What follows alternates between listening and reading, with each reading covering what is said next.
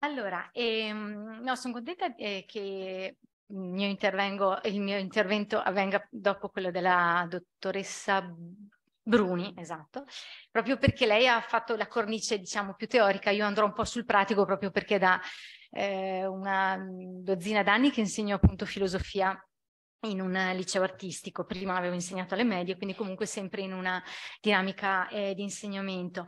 E diciamo, ehm, la mia prima riflessione è, è stata mh, mm, a partire dalla giornata mondiale della filosofia, no? come si era detto, perché c'è bisogno di una giornata mondiale della filosofia istituita dall'UNESCO, quindi una cosa molto importante, no?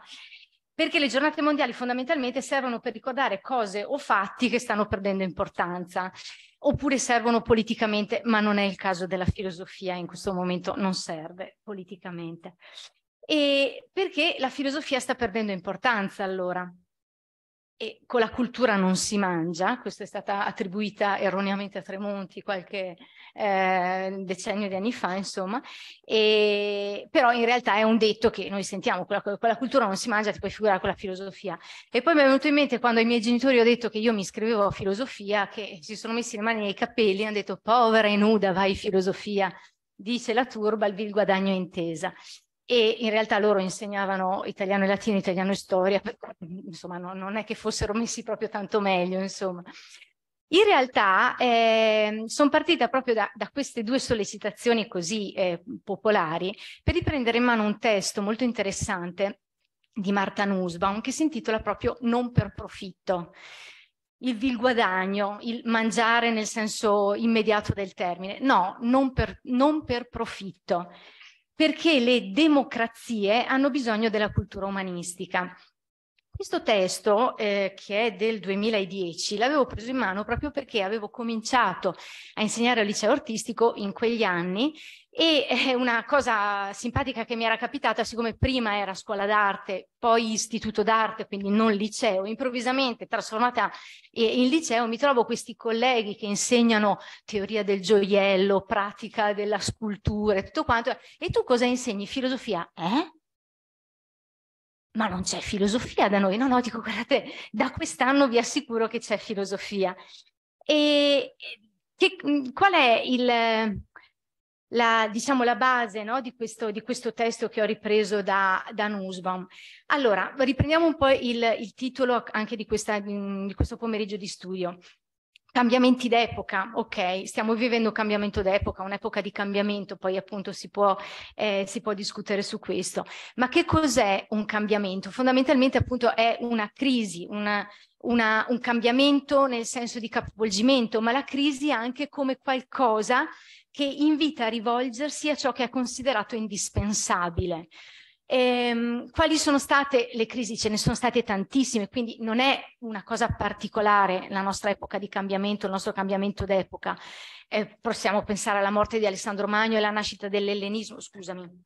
Sì, eh, era per svegliarli, visto che in questo pomeriggio, con questo caldino magari, e la caduta dell'impero romano e poi la nascita dei regni romano-barbarici e quindi anche lì di nuovo epoca di cambiamento, la filosofia che riprende vita, pensiamo poi alle filosofie del Medioevo, del Rinascimento, della rivoluzione scientifica, le varie crisi economiche, demografiche del 1300-1600, ma in realtà, come diceva appunto De Maria, probabilmente la vera rivoluzione è stata proprio la rivoluzione industriale e qui mi collego al discorso del profitto. Perché?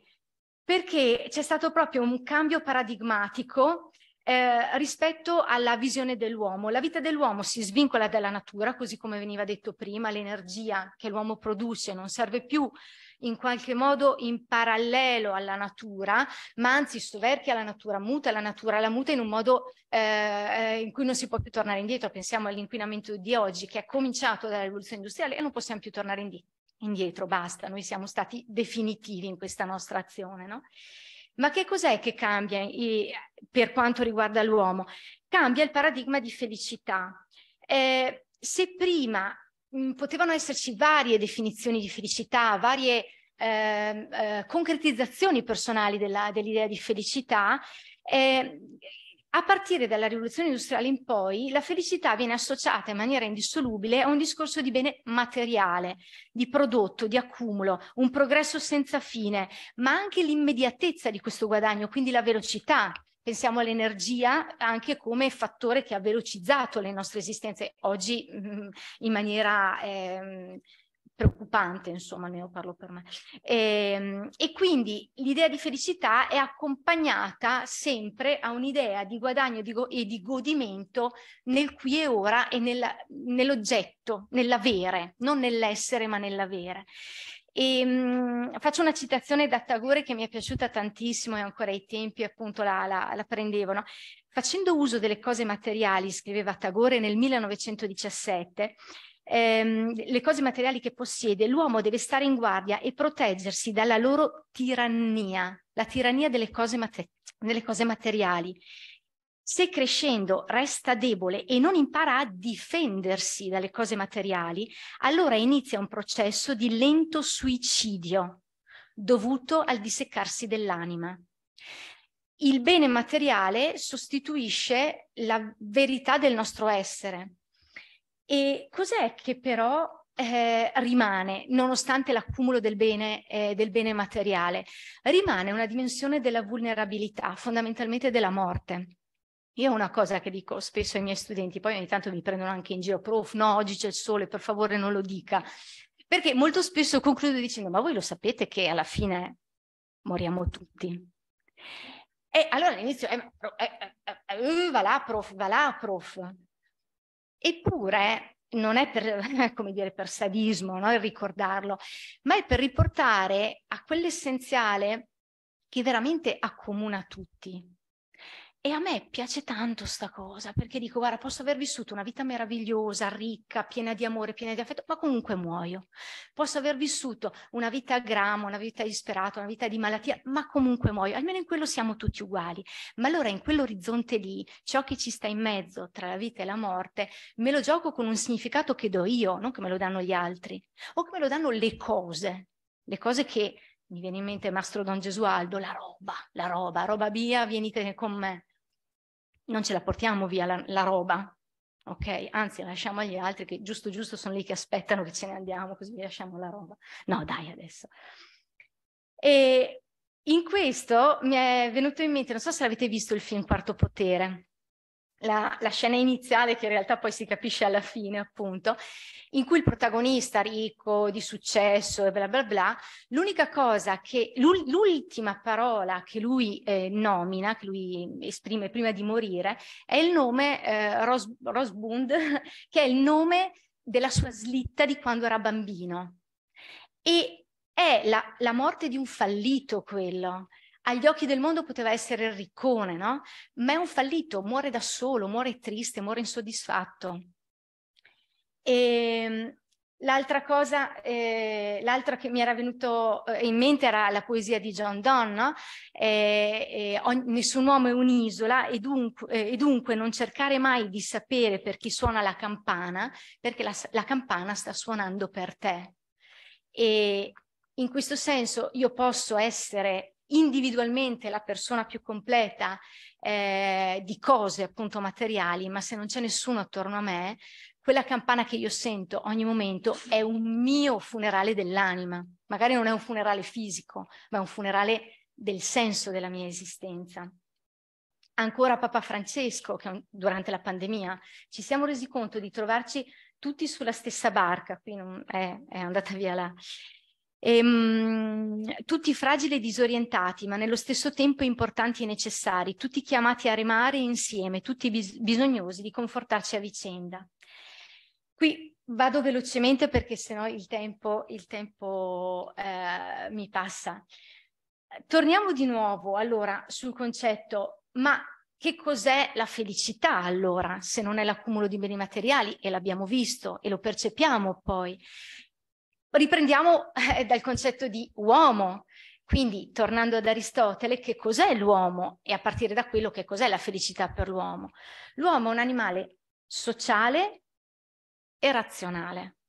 Animale, mangiare, bere, dormire bisogna, quindi non è che siamo tu cur contro i beni materiali, no? Facciamo, no, eh, mangiare, bere, dormire bisogna. Il vil guadagno serve per la vita.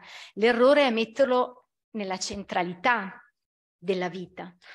E per quale fine agisce l'uomo? Allora questo uomo qui, animale sociale, razionale, appunto per essere felice, ma essere felice è esercitare liberamente il proprio ingegno, ovvero esercitare liberamente il proprio essere sociale e razionale. Allora, torniamo alla domanda iniziale. A che cosa serve? Si sono un po' scompaginate le, le slide, ma va bene. Quindi, a che cosa serve studiare filosofia? E perché, secondo me, in tutte le scuole eh, una base di filosofia dovrebbe esserci. Lo dico adesso, lo dico qui, mentre assistiamo a un processo di eh, completa perdita di importanza, non solo della filosofia ma delle materie umanistiche, tutte le riforme che stanno avvenendo nelle scuole superiori, lo dico da dentro, con grandissimo dolore e grandissima preoccupazione, si rivolgono al 99,9% alle famose STEM, Science, te Technology, Economics e eh, eh STEM, Mathematics. Ecco. E le materie umanistiche devono essere, ma per eh, richiesta ministeriale, ancora prima di questo ministero, pensate cosa succederà dopo, devono essere funzionali alle STEM, cioè prima vengono loro e poi loro, l'insegnante di eh, laboratorio, di progettazione tecnica, viene da me e mi dice ascolta io devo fare un percorso sul nuovo design del, eh, dell'architettura. Ehm, puoi fare qualcosa tu? Non so, Aristotele diceva qualcosa a riguardo? Mm, beh, se no saltalo, va, fammi un altro. In questo senso perde proprio la sua visione eh, di totale libertà la filosofia e dico tutte in realtà le materie umanistiche, la cultura umanistica. Um, riprendo la Dichiarazione universale dei diritti dell'uomo. L'istruzione deve essere indirizzata al pieno, pieno, non settoriale, pieno sviluppo della personalità umana e al rafforzamento del rispetto dei diritti umani, delle libertà fondamentali. E qui torniamo al concetto di democrazia, perché la cultura umanistica è necessaria per la democrazia. Essa deve promuovere la comprensione, la tolleranza, l'amicizia fra tutte le nazioni, gruppi razziali e religiosi. Ora, senza nulla togliere alla matematica, alla fisica eh, e, e, a quelle discipline, però se noi riduciamo tutto in un'ottica di profitto o comunque di ehm, come possiamo dire, di quantificabile a livello matematico, noi stiamo perdendo tutta l'altra parte dell'essere umano che è la parte sociale, animale, razionale, ok, ma sociale. E come materie umanistiche, quanto ho? Due minuti? Un, un minuto per ciascuna cosa. C'è l'aspetto della filosofia eh, che è già stato ripreso molto bene dalla dottoressa Bruni, quindi tutto il discorso del metodo socratico. La filosofia insegna un pensiero razionale, la filosofia si interroga logicamente e criticamente, senza paura del confronto. In questo senso io faccio un piccolo appunto da, da insegnante, so, è utile insegnare i sistemi, è utile insegnare storia della filosofia. Non possiamo pretendere di fare filosofia senza avere un minimo di conoscenza della storia della filosofia. Perché se noi diamo dei contenuti, poi loro sapranno decidere quale contenuto è più vicino al loro sentire, sapranno distinguere fra di loro i valori proposti da questi contenuti. La logica che il metodo socratico impone è sincera e spesso regola i rapporti umani. Insegnare a capire un ragionamento che funziona, un ragionamento che non funziona, ti insegna poi a dialogare, a dibattere, a litigare con qualcuno su basi razionali, non sul, sulla pancia, sulla famosa pancia. E questa è una frase della Nussbaum che mi piace tantissimo. La conoscenza non è garanzia di un buon comportamento, ma l'ignoranza lo è quasi certamente, e non è finita la citazione, di uno cattivo. E l'altra parte, ve la tiro fuori tutta che così si vede, della cultura umanistica è tutto ciò che riguarda l'arte. Perché eh, alle volte si tende a distinguere un po' la filosofia, ah sì, brava, bella la filosofia perché è razionale, ma invece tutte le altre letterature. Invece no, nella socialità, nella parte sociale dell'essere umano, la, le arti, arti figurative, la letteratura, la poesia, ma anche il gioco in sé, dà la possibilità di sviluppare tutta quella capacità empatica di saper riconoscere, gestire, vivere, proiettare le emozioni che potremmo provare in una situazione simile. Avete presente, mm, se avete studiato un po' di filosofia, la catarsi aristotelica.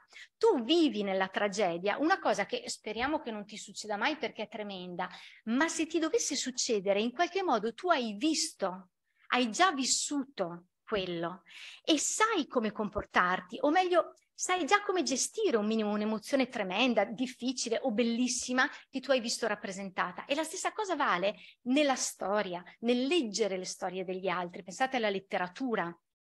Io, mm, mi ricordo alcuni libri in cui l'immedesimazione era talmente forte che sul serio io vivevo la stessa emozione dell'altro. E quindi quando a me capitava di vivere quel tipo di emozioni, in qualche modo avevo una chiave di lettura e sapevo riconoscere nell'occhio dell'altro, nell'esperienza dell'altro, quel tipo di emozione che io stessa avevo vissuto. Questa è empatia, questa è socialità, questa è condivisione. È chiaro che c'è bisogno di tempo, non è immediata, la letteratura non è immediata, la filosofia non è immediata, la poesia non è immediata, ma pensate se voi siete ancora della mia generazione, quando si, impara si imparavano le poesie a memoria, quante volte una poesia, adesso la dico un po' in maniera poetica, ti salva la vita, ti dà le parole per dire quello che senti e che tu, perché non sei leopardi, non sai dire. Ci sarebbe tutta la parte riguardante le neuroscienze, ma la lascio perdere. Vi dico solo che tutta questa empatia crea la possibilità in noi di modificare proprio delle strutture neuronali. La mia tesi di dottorato era sulle neuroscienze e quindi non è fuffa, è realtà che l'empatia ci modifica, che la letteratura ci modifica, che la filosofia ci modifica. Non è che ce la inventiamo noi. Finisco con il cosa fare eh, esula completamente dall'ambito filosofico, un ambito più politico, eh, politico nel senso proprio più pieno del termine. È una frase che io da anni mi porto dietro ed è un politico che è altoatesino, per cui vicino a me, insomma, che con la sua vita, se poi volete andare a cercarvi qualcosa su di lui, scoprirete veramente una grande, grande persona, secondo me ha dato una chiave di lettura non più veloce, più alto, più forte, come dice lo slogan per le Olimpiadi, no? Ma più lenti, più in profondità, più dolcemente. Forse è un po' questo, no? Che tutta la cultura umanistica dovrebbe riscoprire. È Alexander Langer.